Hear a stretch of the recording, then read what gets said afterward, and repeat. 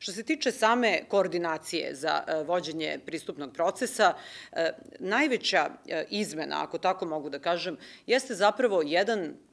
način na koji smo sada došli, čini mi se, do, do e, strukture koja će na e, mnogo e, jasnijem političkom nivou i političkoj koordinaciji svih ministarstava koje imaju svoja zaduženja u okviru samog pristupnog procesa biti i na neki način ostvarivana kroz bolju koordinaciju, kroz jedan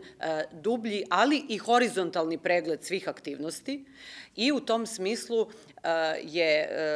to nešto što odgovara na onaj ključni zahtev nove metodologije, a to je zapravo već, e, više i e, veće, snažnije političko vođenje pristupnog procesa.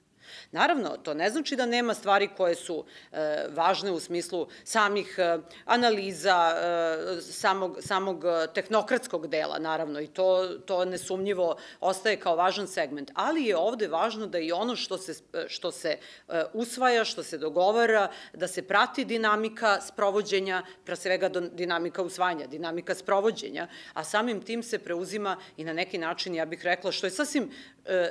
I mislim, to treba da bude pohvaljeno, pošto sam videla neke kritike. Pa znate, vi preuzimate, i mi preuzimamo više političke odgovornosti. Ja mislim da je to dobar e, način na koji e, smo, i ovo je bio moj predlog, i moja ideja, zato što je to moja odgovornost, na kraju krajeva, da kao ministar resurni kažem, ovo su nove, novi elementi, ovo se sada zahteva od svih nas zajedno.